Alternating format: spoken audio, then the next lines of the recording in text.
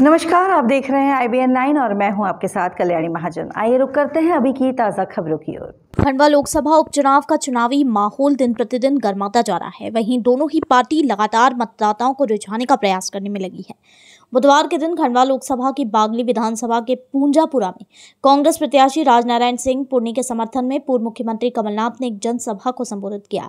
जनसभा को संबोधित करते हुए कमलनाथ ने कहा कि बागली विधानसभा को मुख्यमंत्री शिवराज सिंह चौहान के झूठे वादे ले डूबे शिवराज सिंह ने बागली की जनता से नर्मदा सिंचाई योजना व बागली को जिला बनाने के झूठे वादे किए हैं।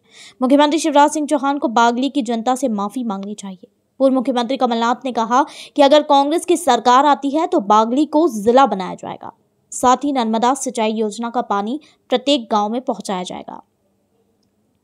वहीं मीडिया से चर्चा करते हुए कांग्रेस के पूर्व मंत्री जयवर्धन सिंह ने कहा कि आज का मुद्दा महँगाई है। भाजपा सरकार में महँगाई अपनी चरम पर है, साथ में बागली के साथ मुख्यमंत्री और भाजपा सरकार ने धोखा किया है।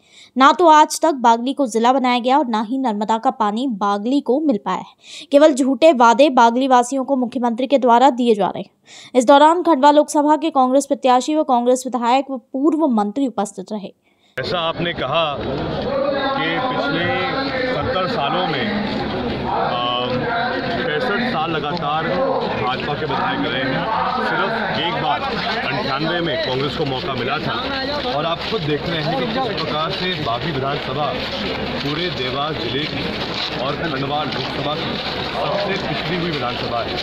यहाँ पर लगभग ऐसे तीन सौ, दो सौ गाँव होंगे जहाँ हमारे आदिवासी भाई विरासते हैं।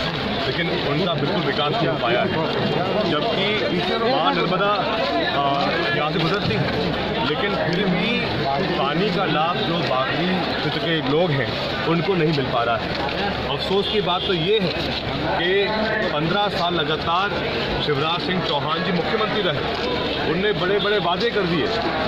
कि बागली जिला बनाएँगे, लेकिन नहीं बनाया जिला।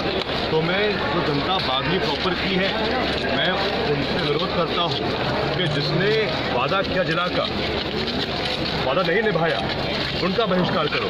लेकिन कम से कम कांग्रेस पार्टी, जिनको मौका ही नहीं मिला यहाँ तक लिए काम करने के लिए, हमें तो एक बार मौका दीजिए। खबरों का सिलसिला यूँ ही लगातार जारी रहेगा आई बी के साथ। आप देखते रहिए आई बी